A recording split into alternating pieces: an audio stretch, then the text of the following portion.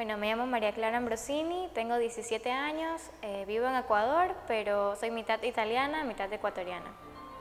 Para mí el ballet es todo, es todo lo que tengo, es todo lo por, por lo que he luchado desde, desde que me acuerdo, por lo que he trabajado durísimo todos los días, horas de horas, de horas, de horas, de horas. Yo como soy muy pequeña, soy bajita, entonces se conoce que las bailarinas tienen que ser altas.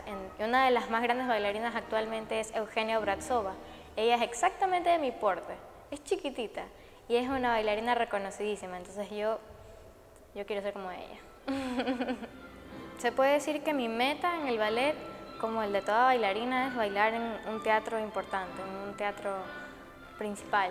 Mi sueño es bailar en la escala de Milán, en Italia.